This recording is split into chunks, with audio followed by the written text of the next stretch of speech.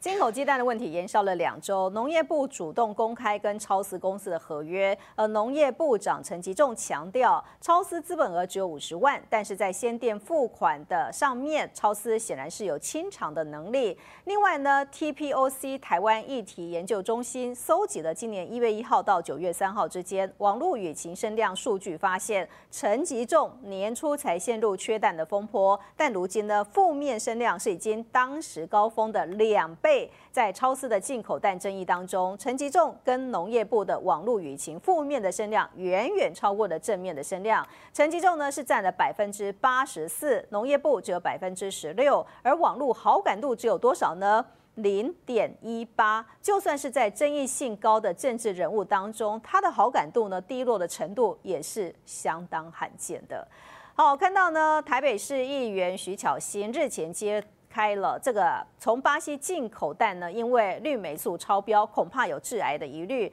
而巴西在五月底呢就公告成为了流感地区，日本也紧急的停止进口。徐小青说了，我们农业部呢处理速度是慢半拍，没有列为是重大食安问题，是已经很夸张了。居然说这种药物残留只是鸡的感冒药，简直是罔顾台湾人民的安全。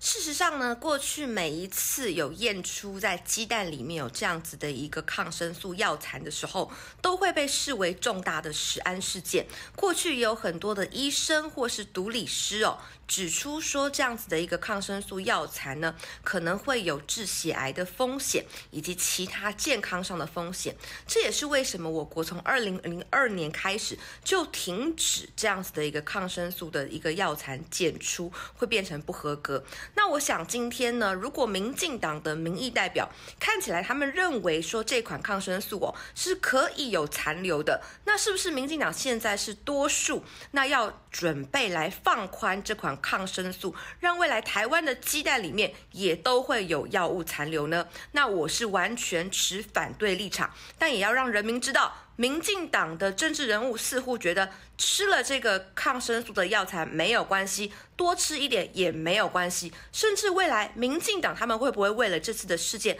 修法放宽药物残留，罔顾台湾人民的食品安全？我想我们要更多的监督跟把关。